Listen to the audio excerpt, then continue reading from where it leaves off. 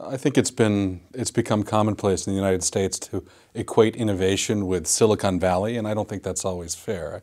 There are multiple kinds of innovation, and if you look at kind of at, at China's national innovation goals, they aren't necessarily to develop the kind of you know, ecosystem that Silicon Valley represents, but they're still trying to have a, an innovative ecosystem. You, you can go back as far as you want. You can say, well, the United States has the biggest, the most successful, innovative ecosystem that's out there.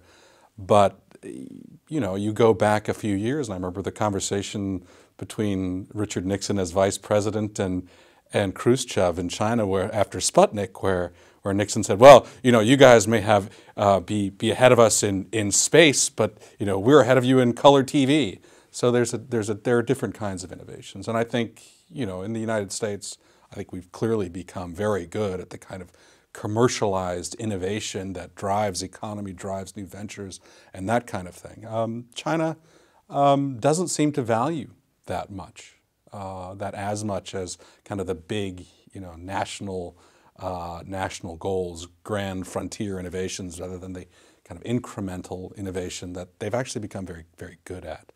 Um, I, I, think it's, you know, there's an old canard that, that uh, you know, China can't be as innovative or Asian countries can't be as innovative because their educational system kind of relies on rote learning as opposed to you know the kind of free-flowing creative education that a country like the United States prides itself on.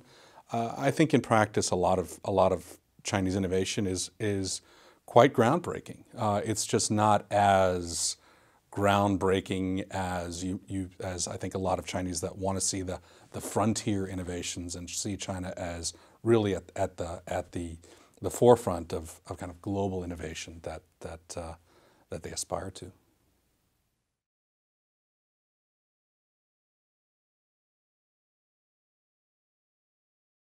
I think some comment. It's both. I mean, Chinese are most Chinese that uh, you know have taken the sea turtle route and become educated overseas in some engineering or other field and have gone back to China to become successful entrepreneurs, successful technologists.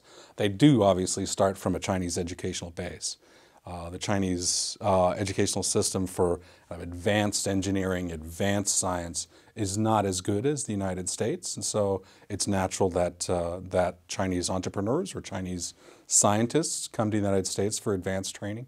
Um, whether they go back is is a function of of whether there's opportunity. I think many of them found that there has been great opportunity for, for entrepreneurs and, and technologists, um, whether that's in China's state sector with, with uh, space technology or military technology, or even in China's internet sector, which is, you know, the Wild West and is, is really quite, quite extraordinary. Um, so I, think it's, it's a combination um, of, of East and West, and, and uh, but I think uh, one of the telling signs is that any really successful Chinese venture, technology venture, has at its core uh, Chinese that have been educated in the West.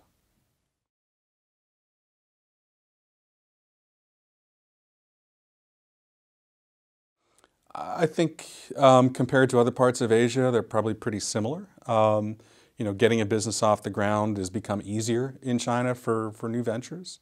Uh, so starting a new technology company, an internet company in China is relatively easy, but once you've started it, having access to things like um, banking services or legal services or, or the kind of capital services that venture capitalists provide is a lot harder.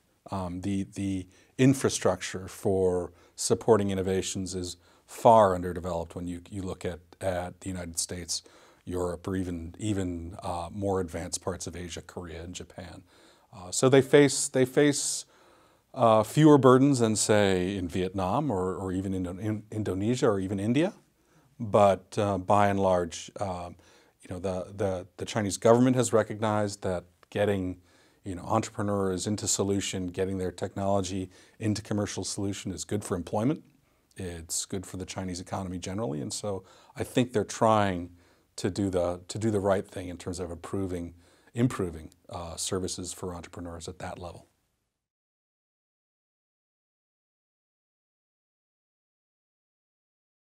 Well, being a uh, a market, a pro-market Westerner. I mean, my, the natural inclination is to say that um, it, it, unless China really uh, allows for a much more open and free, and I use that word advisedly, uh, information system. In other words, the ability to exchange information not just with other entrepreneurs within China, but across geographies, across, um, across technology platforms is really very important.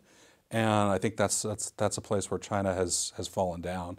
If you talk to Chinese entrepreneurs or even Chinese researchers, whether in academic fields or otherwise, the com most common complaint is, is this, the constrictions on their ability to access information, uh, technical or otherwise, that, that is critical to moving their businesses forward, moving their research forward. So I, think that's the, you know, again, displaying my Western bias, I think that uh, better information flows and more access to information is, is probably the thing that is likely to hold China uh, back in terms of reaching its innovation goals over the next three to five years.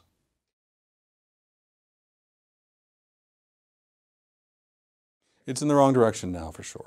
Uh, and I think we all understand, you know, the, the political sensitivities that are involved and, and the realities that are involved in, in trying to manage a, uh, a, uh, a wild and woolly group of, of Chinese uh, entrepreneurs and, and technologists um, as they get out there. But I think it really is a, it's a, it's a problem that, uh, that they may find will, will come to hurt them.